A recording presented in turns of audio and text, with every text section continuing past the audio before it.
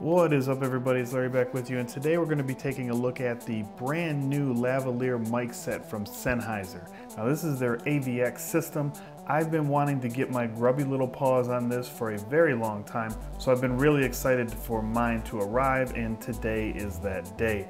So we will just do a little bit of the unboxing and then we'll get in, we'll compare it to the old G3 112, which is still a fantastic mic set, but this is just on the next level when it comes to syncing, charging, and everything. So we'll get into that. Here you can see it comes with the ME2 microphone and this microphone is the same that comes with the 112 set so I'm very comfortable with this microphone I love the way it sounds and we'll be doing great audio with it here is the XLR to 3.5 millimeter jack that you will need to connect it straight into something like the GH4, which I use personally. Here you have a Sennheiser branded USB wall wart because that is one of the greatest features about this system is the transmitter and receiver are both rechargeable. Here you can see the uh, receiver, very small, very compact. It really reminds me of like a, a fat USB drive, obviously with an XLR port off to the side.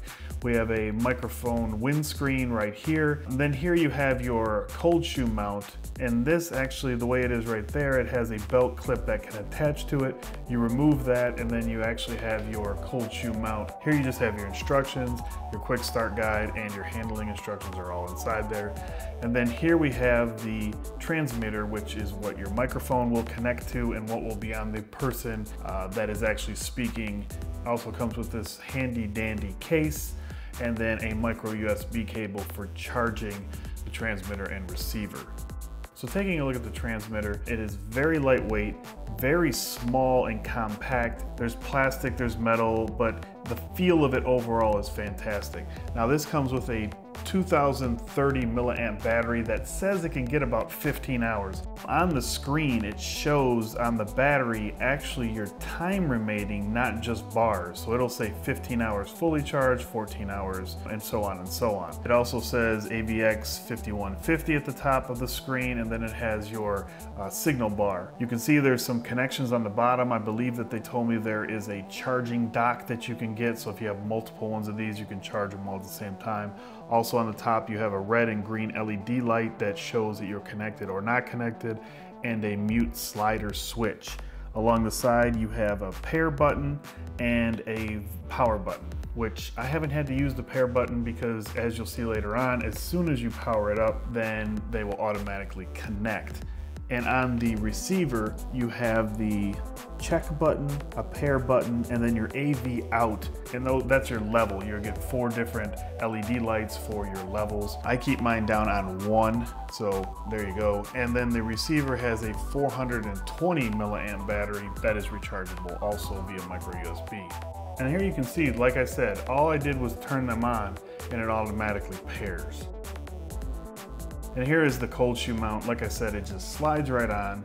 Uh, it's snug fit, it has some rubber inserts there to keep it very tight and very snug. And then it's also rotatable, and I'll show you that again later on when I put it on a few devices. So this is how it would be if you wanted to plug directly into XLR, but if you wanted to connect to the GH4 like I may do on some of my videos, this is what your setup would look like there with the XLR to 3.5 millimeter jack. Then the ME2 microphone. The difference between this microphone and the other one that I can see externally, uh, one of the first things that pop out to me is the clip here is completely different. The version on the 112 is as a metal and it has a clipping system where you press it in like spring loaded and slide the microphone in it. Then again, it has the screw in locking feature for the microphone, which is fantastic. So let's get it hooked up to my external Tascam recorder. And this is what it would look like if I was going to record straight to the Tascam as an external audio source that would just plug in. I could flip it down, flip it around, however I would like to, to have it set up. Pretty much goes all the way in one direction to a stop and then the other direction a stop. It doesn't rotate 360 degrees. Now I'll take my GH4 here and I have the cold shoe.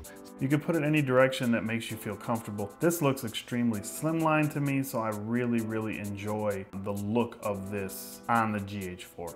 All right, so let's get into comparing the G3 set to this new AVX system. So here you can see the two clamps. The new one is metal with this plastic clip on the front. The other one is metal, has this metal spring type mechanism. You can actually see that it looks like the, I don't know if the internal capsule, but the external body and the tip actually look larger on the new AVX system. So they are both called ME2 microphones, so I don't imagine any of the internals are different. Now here you can see a huge difference between the actual transmitter of the AVX and the G3 one, you can see the antenna obviously is less intrusive on the new one. You can see it's a lot slimmer. It's definitely smaller overall. And then of course, the biggest difference between them, I believe, is you don't have all of the adjustments that is needed on the older version. Um, it gives you a bunch of options when you open it up. You have power on and off, you have set, you have the menu up and down. But the biggest thing here is no longer do you need AA batteries, you have rechargeable batteries. And then this is probably the biggest difference between um, comparing is the receiver. You can see how small and slimline the other one is, and a lot of that is because you don't need AA batteries anymore, but just look at the overall size. Now this is the exact setup this is the G3 in my right hand showing how you would hook up to XLR and the other one you don't even need an extension, it has the XLR on it. And this is your setup if you want to plug directly into a camera such as the GH4 and that's it. I mean it's just the footprint overall just makes things a lot easier whether you're traveling with it or just your overall setup for a shoot. But that's going to be about it guys. I wanted to give you an unboxing and a comparison with the new Sennheiser AVX lavalier microphone system. Let me know what you guys think in the comments down below. Is this something you would use in your video production? Do you know somebody that would love to use this because it is a fantastic product. The audio sample for you guys is coming right now and it has been going throughout the whole video. I've been recording with the new AVX system lavalier set going straight into my Tascam to do this voiceover. So let me know down below what you guys think of the audio quality. So that's gonna be about it. If you enjoyed this video, give me the thumbs up. If you've yet to subscribe, make sure you smack that subscribe button down below and I will speak to you guys in the next video. Thanks for watching. Peace.